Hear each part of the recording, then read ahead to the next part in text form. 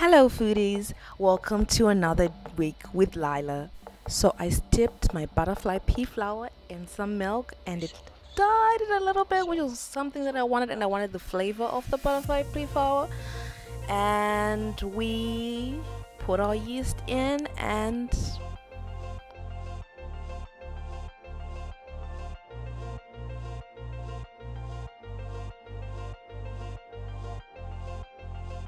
we add flour to our yeast.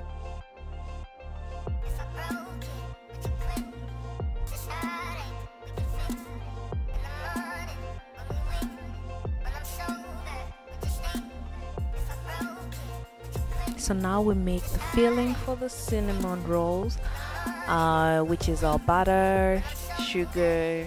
I use caster sugar lemon zest some cinnamon mixed spice and some nutmeg. And we mix that together and just serve it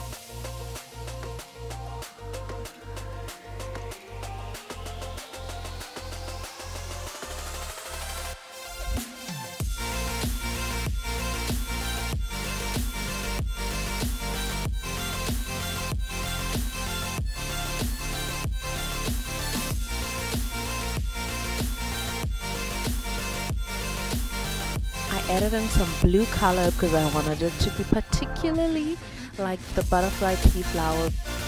So here's me in some food coloring.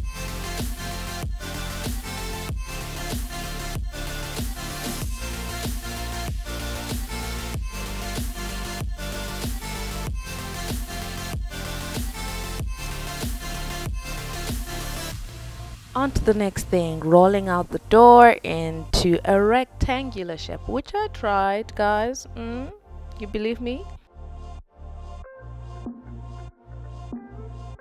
While i'm rolling this guys why don't you just recommend this channel to all your friends? It's definitely a vibe. You've got to tell everybody